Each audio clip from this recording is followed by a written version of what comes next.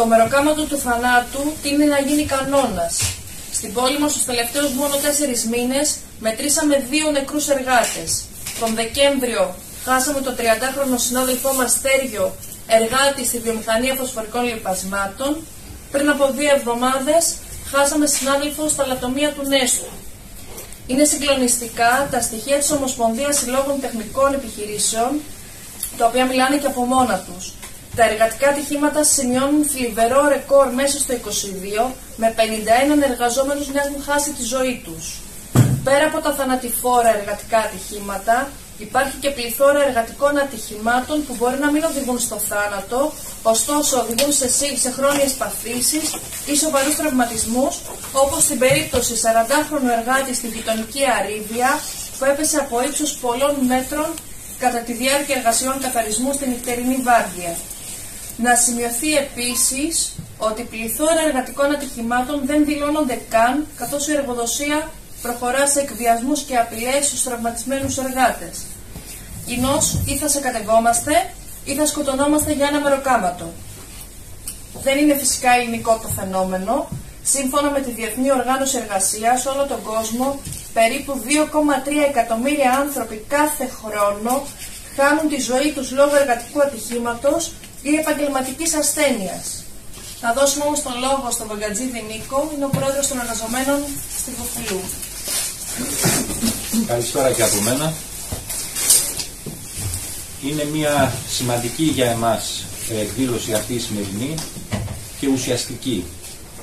Ουσιαστική γιατί ένα από τα κύρια προτάγματα που βάζαμε στον αγώνα μας είναι οι ασφαλείς συνθήκες λειτουργίας αυτής της βαριάς χημικής βιομηχανίας θα μιλήσω για εμάς για τα λοιπάσματα. Φαντάζομαι ότι το ίδιο ακριβώς ισχύει, όχι φαντάζομαι, γνωρίζω ότι το ίδιο ακριβώς ισχύει και για την ε, γειτονική επίσης βαριά χημική βιομηχανία, τα πετρέλαια.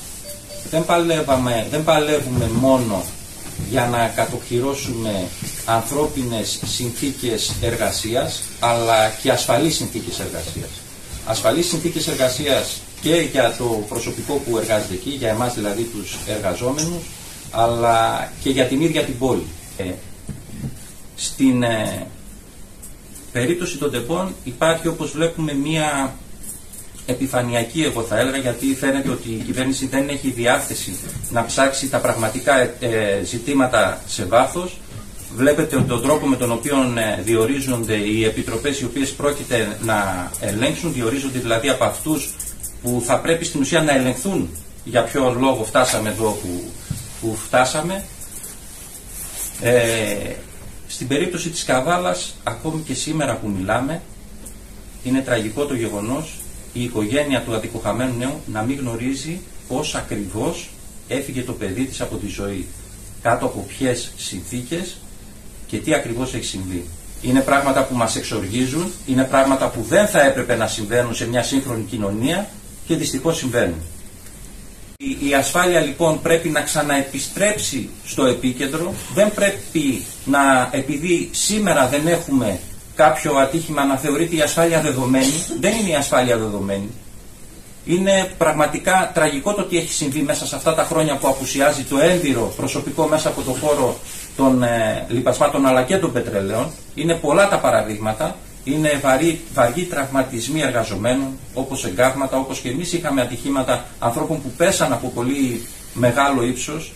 Ε, έχουμε καταγγελίες, εγώ σαν πρόεδρος έχουμε πραγματικά πάρα πολλές καταγγελίες από εργαζόμενους οι οποίοι φοβούνται να έρθουν και να πούν δημόσια το τι ακριβώς βιώνουν.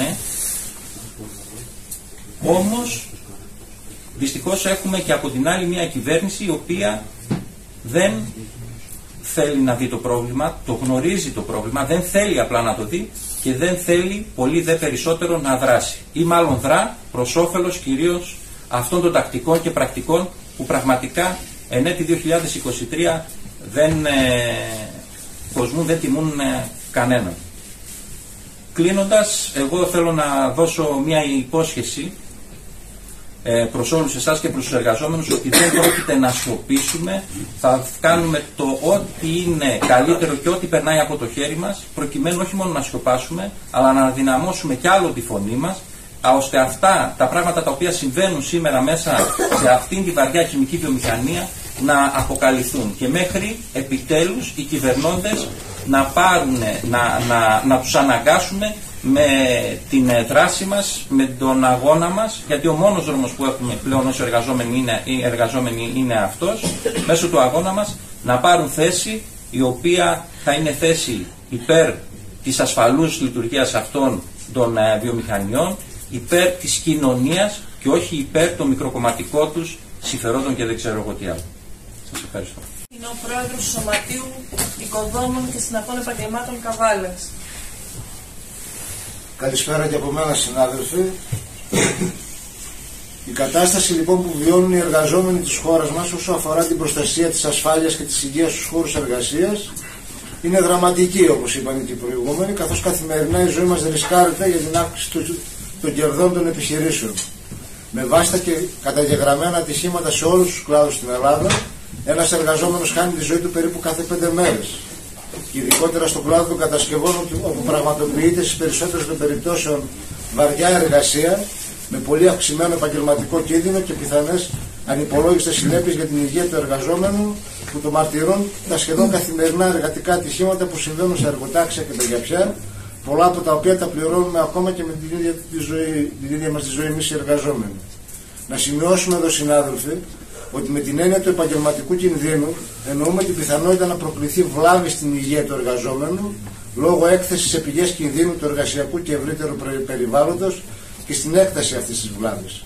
Οι εργαζόμενοι σε κάθε χώρο εργασίας μπορεί να εκτίθονται σε μια σειρά βλαπτικούς παράγοντες, όπως είναι χημική, φυσική, βιολογική και άλλοι, ή επικίνδυνες καταστάσεις, μηχανικούς κινδύνους, κινδύνους από την ίδια την οργάνωση της εργασίας και άλλα.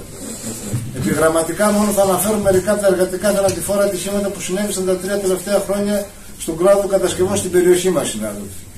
Δύο εργαζόμενοι σε διάστημα μικρότερο του ενός εξαμήνου σκοτώθηκαν στο εργοτάξιο κατασκευής του κάθετου άξονα στην Ξάνθη, του οδικού.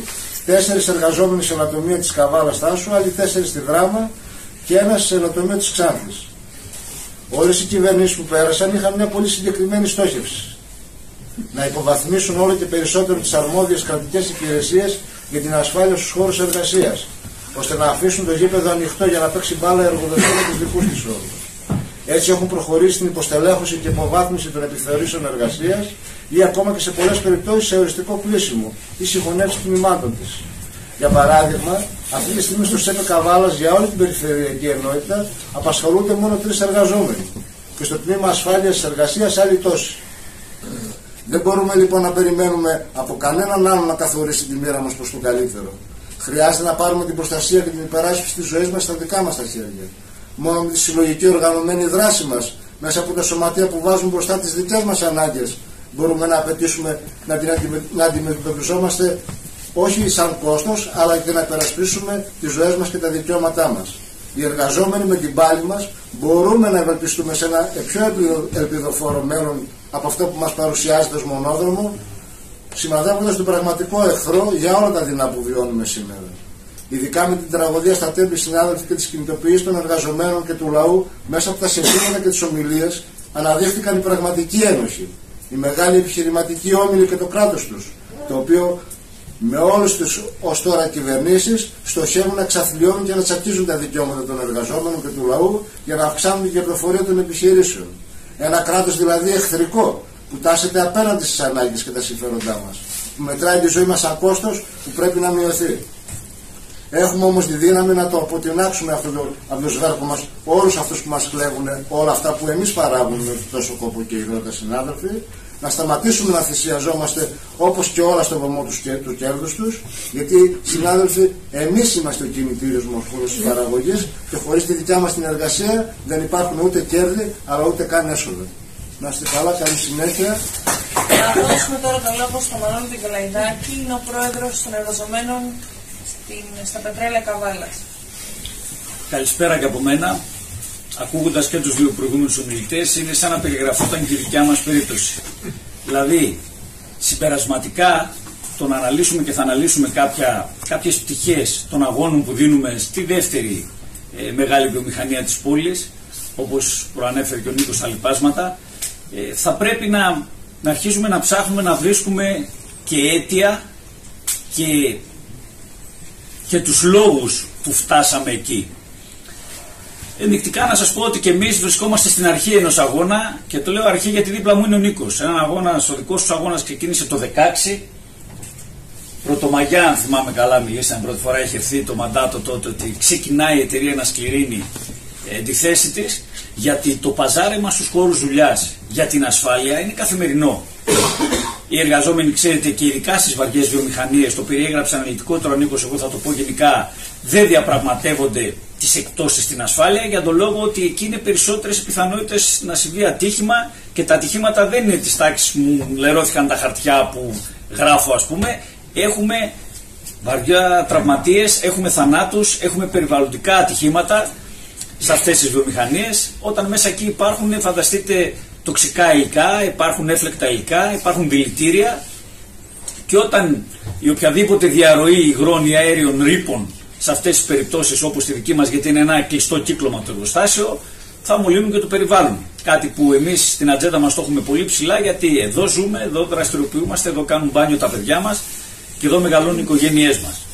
Αν υπήρχε ένα κακό κείμενο στην λειτουργία των εγκαταστάσεων σε σταματημένο εργοστάσιο να ανατινάσετε μια δεξαμενή όταν δεν έχει γίνει εδώ και 40 χρόνια, θα έπρεπε να φροντίσουν αυτοί οι φορείς, οι ελεκτικοί ή οι τοπικοί, να μπουν να μην συνεχίσει να λειτουργεί έτσι, γιατί για να ελαχιστοποιήσουμε την περίπτωση να ξαναγίνει ένα παρόμοιο ατύχημα. Λέμε ότι η πόλη είναι τουριστική και ότι περιμένει τώρα τους επόμενους μήνες για να κυκλοφορήσει λίγο χρήμα να κουνηθεί και να ανέβει η οικονομία μας, αλλά δεν κάναμε τίποτα για να εξαλείψουμε την περίπτωση να ξαναγίνει ένα τέτοιο ατύχημα.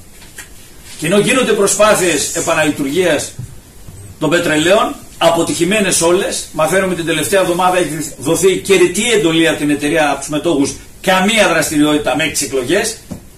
Γιατί το μόνο που θέλουμε να διαφυλάξουμε σε αυτούς που μας καλύπτουν προφανώς είναι μη τους προσθέσουμε μετά τα τέμπη ένα ακόμη ατύχημα, δυστύχημα περιβαλλοντικό, με θανάτους, με τραυματισμούς.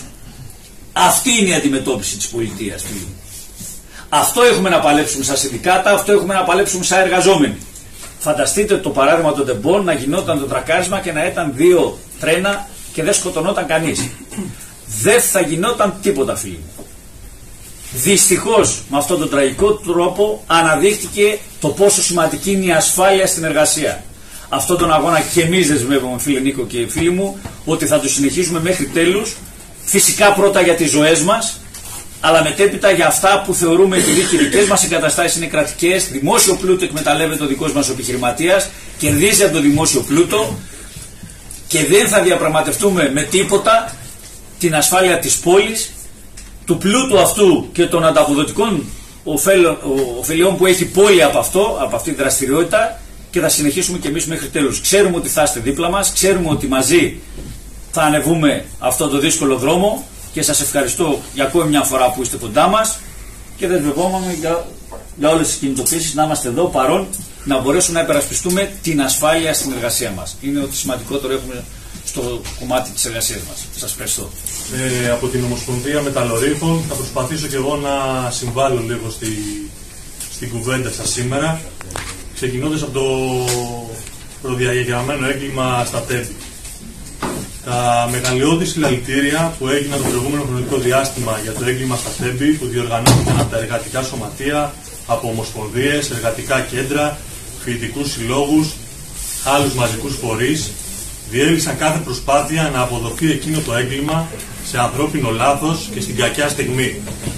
Αχρήστευσαν ακόμη την προσπάθεια να επιβλεφθεί σιωπή στο όνομα του πένθους, μπήκαν μπροστά τα συνδικάτα και έκαναν την οργή που ένιωθε όλος ο λαός οργανωμένο αγώνα. Παράλληλα, αχρήστευσαν τον προπαγανδιστικό μηχανισμό της ψευτιάς και της υποκρισίας, αφού δεν κατάφεραν τα γνωστά παπαγαλάκια να κουκουλώσουν τις επανειλημμένες προειδοποιήσεις των εργαζόμενων στο σιδηρόδρομο για το δυστύχημα που έβλεπαν ότι έρχονται. Πάνω σε όλες αυτές τις ελλείψεις, σε συστήματα ασφαλείας, σε προσωπικό, στις συνεχόμενες βάρδιες χωρίς ρεπό και τα 12 ώρα και άλλα που κατήγγυλαν οι εργαζόμενοι, στρώθηκε το έδαφος για το προδιαγεγραμμένο έγκλημα που ακολούθησε. ενώ δεκάδες είναι εισακατεμένοι μεταλλορύχοι από τα εργατικά ατυχήματα και τις επαγγελματικές ασθένειες λόγω των ανθυγιεινών και επικίνδυνων συνθηκών που επικρατούν στου χώρου δουλειάς. Όλα αυτά προ, προδιαγεγραμμένα εγκλήματα κατά της ζωής των εργατών είναι, αλλά δεν κάνουν τίποτα όπως δεν έκαναν και στα τρένα, γιατί κοστιλογούν τις ζωές μας με βάση τα κέρδη τους. Η Ομοσπονδία Μεταλλορύχων Ελλάδος και πολλά σωματεία του κλάδου μας έχουμε επανειλημμένα καταγγείλει ότι δεν λαμβάνονται από τους εργοδότες μέτρα πρόληψης και προστασίας της υγείας και ασφάλειας των εργαζομένων. Ορισμένοι από τους παράγοντες που διαμορφώνουν την παραπάνω κατάσταση και για τις επόμενες ανθρωποθυσίες που μέλλονται δυστυχώς να έρθουν στο βωμό του κέρδους όσο συνεχίζεται αυτή η κατάσταση είναι η εντατικοποίηση της εργασίας, το κυνήγι για την αύξηση της παραγωγικότητας, δηλαδή λιγότεροι εργαζόμενοι να τρέχουν περισσότερο και να βγάζουν περισσότερη παραγωγή. Όλες οι κυβερνήσεις λοιπόν είναι συνένοχοι για τα εργοδοτικά εγκλήματα στους χώρους εργασίας, γιατί όλοι όσοι κυβέρνησαν έχουν φτιάξει αυτό το ιδηλιακό τοπίο για τα αφεντικά και έναν εργασιακό μεσαίωνα για τους εργαζόμενους. Δεν έχουμε λοιπόν να περιμένουμε τίποτα καλύτερο από κανέναν τους, ούτε από το κράτος και τις κυβερνήσεις του, ούτε από τους εργοδότες και τα κέρδη τους. Μόνοι μας οι εργάτες μπορούμε να κατακτήσουμε το δίκαιο μας. Να δουλεύουμε σε ένα εργασιακό περιβάλλον που θα μπαίνουμε και θα βγαίνουμε αρτιμελείς, σόι και αυλαβείς από τα μεταλλεία, τα λατομεία, τα εργοστάσια, όλους τους χώρους εργασίας συνολικά. Γιατί μιλάμε για τις ζωές μας, δεν γίνεται να δουλεύουμε απλά ελπίζοντας ότι δεν θα είμαστε εμείς οι άτυχοι, ότι δεν θα κάτσει σε εμάς στραβή. Το δίλημα τίθεται σε κάθε εργαζόμενο και είναι αμήλικτο. Ή θα συνεχίσουμε να μετράμε νέες απώλειες, νέους ακατεμένους και νέα θύματα για να φουσκώνουν οι μεγαλοεργοδότες τους τραπεζικούς τους λογαριασμούς ή θα διαλέξουμε το δρόμο της διεκδίκησης για να επερασπιστούμε τις ζωές μας και τα δικαιώματά μας. Και αυτό μπορεί να γίνει μέσα από την οργανωμένη πάλη των εργαζόμενων, από τα σωματεία μας που να είναι η πραγματική φωνή των εργαζόμενων, βάζοντας μπροστά τα δικά μας αιτήματα, τις Επιτροπές Υγείας και Ασφάλειας στους χώρους δουλειάς, που θα διεκδικούν και θα απαιτούν μέτρα πρόληψης και προστασίας της ζωής μας. Μόνο έτσι, οργανωμένα οι εργάτες, δυναμώνοντας τα σωματεία μας σε όλους τους χώρους δουλειάς, μπορούμε να επιβάλλουμε την προστασία της ζωής μας κόντρα στα κέρδη των λίγων. Με αυτόν τον αγώνα μας μπορούμε να επιβάλλουμε να σταματήσουν οι χώροι δουλειάς να είναι κοιλάδες των τεμπών, να γίνει πράξη το σύνθημα όχι άλλος νεκρός για τα κέρδη τους. Αυτός ο αγώνας είναι το χρέος της τάξης μας σε όλους αυτούς που θυσιάστηκαν στο βωμό του κέρδους από τους εργοδότες και το κράτος τους. Και πρέπει να τους το ξεπληρώσουμε γιατί μαζεύτηκε πολύ άδικο και δεν το σηκώνουμε πια. Τα τελευταία 8 χρόνια στις υπηρεσίες καθαριότητας στο Δήμο έχουμε το θλιβερό προνόμιο να μετράμε 60 νεκρούς. Οι νεκροί συναδέλφοι σας στο Ξυλόκαστρο, πέρσι μητέρα πέντε παιδιών που δούλευε ανασφάλιστη, ήταν συνοδός απορριμματοφόρου, ήταν το τελευταίο συμβάν. Σε αυτά τα χρόνια έχουμε 102 κροτηριασμένους. Οι καλοί μας δήμαρχοι, πολλοί από τους οποίους ψηφίζουμε, βάζουν το μόδιλημα σε αρκετούς ανέργους ότι ελάτε να δουλέψετε σε εμάς ένα-δύο μήνες μαύρα χωρίς να φαίνεστε πουθενά όπως ήταν οι συναδέλφοι σας στο Ξυλόκαστρο και μετά θα σας πάρουμε συμβασιούχους στο Δήμο. Αδιαφορώντας για τα μέτρα τήρησης ασφαλείας, αδιαφορώντας για στοιχειώδεις κανόνες υγιεινής και ασφάλειας. Όταν μίλησα τις φοράδες με τον τεχνικό ασφαλείας στο Δήμο Νέστου, του είπα ότι ξέρεις οι εκθέσεις εκτιμόμενου επαγγελματικού κινδύνου, όπως ξέρεις Μανώλη, αναρτώνται στην πλατφόρμα του ΣΕΠ για να διαπιστώσω έκπληκτος ότι αυτή η περιβόητη πλατφόρμα δεν λειτουργεί. Όταν τα αναφέρουμε σε διαφόρους υπουργούς ή πολιτικούς παράγοντες, μία είναι η λύση. Αξιολόγηση. Την ίδια στιγμή έχουμε απορριμματοφόρα στους Δήμους που είναι από τη δεκαετία του 80. Αντιλαμβάνεστε γιατί πεπαλαιωμένος στόλο μιλάμε. Σε αυτόν τον στόλο που είναι πεπαλαιωμένος, ανεβαίνουν λοιπόν οι συνοδοί απορριμματοφόρων, οι οποίοι έρχονται σε επαφή με χημικά απόβλητα, νοσοκομιακά απόβλητα, τοξικά απόβλητα και ό,τι άλλο μπορείτε να φανταστείτε. Αυτοί εκτίθεται σε πολύ σοβαρούς κινδύνους και εργασιακές ασθένειες έχουν χτυπήσει κόκκινο. Σχεδόν κάθε μέρα ο γιατρός εργασίας εδώ στο Δήμο Καβάλας δέχεται συναδέλφους και συναδέλφισε με μυοσκελετικά προβλήματα και τενοντίτιδες. Ο αγώνας, η διεκδίκηση είναι μονόδρομος.